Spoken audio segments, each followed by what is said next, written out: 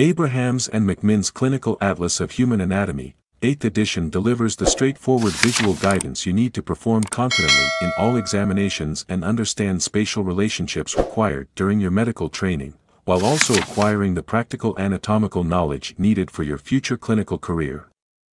Respected authority Professor Peter Abrahams and his team of leading international anatomists and radiologists link a vast collection of clinical images to help you master all the essential correlations between the basic science of anatomy and its clinical practice.